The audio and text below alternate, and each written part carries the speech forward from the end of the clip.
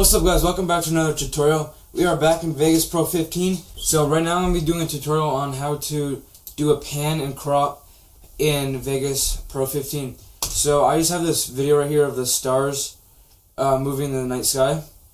Uh, say I want this to pan across. You want to go over here to this little button. That's like these, looks like a square with lines coming out.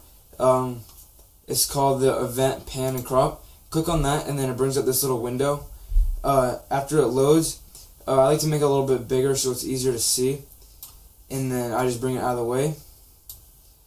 Okay, so once you're here, you can see the actual video right here.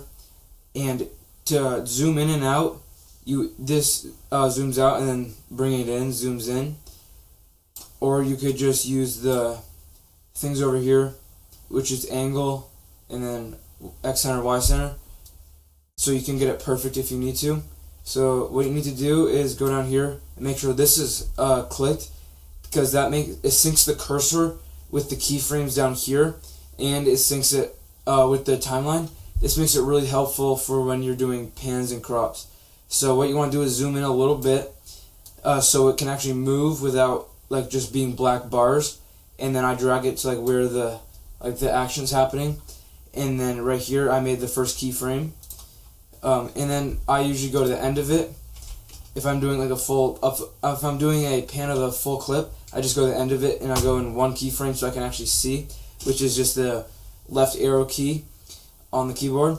Then I usually bring this down here to like the opposite side, and then like you can either zoom in a little bit or like zo keep zooming out so it like zooms out, and then bring it over to the corner. Uh, then click X. Then you can just watch it back to see if it's like what you like. And you can see the trees right here moving. So yeah, this is a very simple video. Uh, there's not much to it. So I hope you guys like this video. Make sure you like and subscribe and turn on the push notifications so you can actually see when I upload and you can get all the new tutorials. So I'll see you guys next time.